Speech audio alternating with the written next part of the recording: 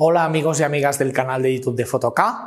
Hoy os vamos a contar las dos nuevas ópticas que presentará Canon para el sistema RF. Así que vamos allá. Enfocado a la modelo y lo bueno es que como estábamos que eh, está pensada para cine, o para vídeo, para foto. Aprende a usar tu cámara. Apunte de nuestros cursos. Soy María Simón del Departamento de Iluminación y en el vídeo de hoy vamos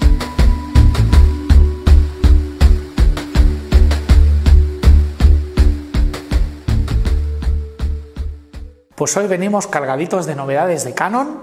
y vamos a empezar por el Prime, por el objetivo quizá uno de los más esperados que completan el line-up la gama de ópticas eh, fijas de Canon. Teníamos ya el 85, teníamos un 35, sabemos que tenemos ópticas de la serie L que son los del anillo rojo y ópticas que no son de la serie L. Las dos ópticas que os vamos a presentar hoy no lo son, aunque son ópticas de una gran calidad y llegan para complementar esos vacíos que teníamos eh, todavía en esta gama de objetivos de la bayoneta nueva para mirrorless de Canon. El 24 mm 1.8, una óptica de una calidad excepcional, compacta, ligera, luminosa, podremos conseguir un buque precioso, tanto en foto como en vídeo, viene con el motor de pasos STM para el vídeo, es decir, ese motor que no hace el hunting, que no hace la caza para buscar el foco, sino que mantiene el foco eh, y no nos hace este efecto tan, tan indeseado. Y han tenido la genial idea de estabilizarlo, con lo cual va a ser una óptica fantástica, tanto también para usuarios de bloggers como gente de vídeo, porque nos va a permitir eh, trabajar con ella y conseguir unos resultados muy estables eh, tengamos la cámara estabilizada o no tengamos la cámara estabilizada. Eh, también muy pensada para gente que ahora va a empezar a adquirir los cuerpos de R6, de R7 y de R10 que son APS-C y entonces esta óptica va a equivaler a un 36-37 milímetros con lo cual va a ser una focal fantástica también para vídeo. Destacar la construcción muy robusta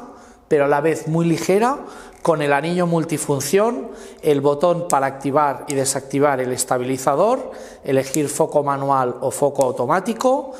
y con una característica muy chula también, que es que puede enfocar a partir de 14 centímetros, con lo cual si nos estamos grabando con la óptica muy cerca, con la cámara nosotros mismos, nos va a poder enfocar perfectamente y ya os digo, nos va a dar un buque genial. Es decir, que muy bienvenida este 24 milímetros 1.8 RF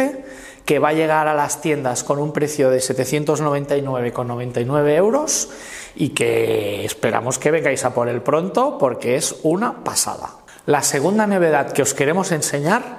es el 1530. El 1530 es un zoom gran angular que va a hacer las delicias de todos aquellos aficionados a la fotografía de paisaje o los que tengan que hacer fotos para, eh, de arquitectura, interiorismo, fotos de piso, foto street, ¿vale? es una óptica eh, muy pequeñita y también muy compacta, aunque es un zoom prácticamente el movimiento es todo interno y crece muy poquito, con lo cual, igual que el 24, aunque no lo hemos dicho, la va a hacer una óptica fantástica para los usuarios de gimbal, en este caso es una óptica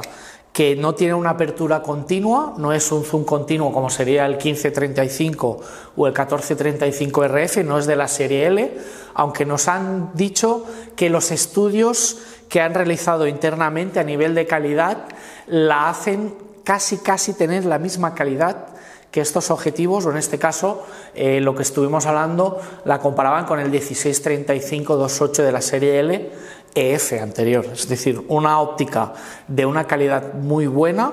que va a llenar también este hueco de los usuarios que estaban todavía utilizando los angulares de la serie EF con adaptador, incluso de EFS con las cámaras APS-C, el 1018 y el 1020, una óptica que nos va a dar más nitidez, con la cual podremos prescindir del adaptador. También está estabilizada, con lo cual fantástico para disparos a poca velocidad a mano o para vídeo va a llegar con un precio muy correcto de 750 euros, 749,99.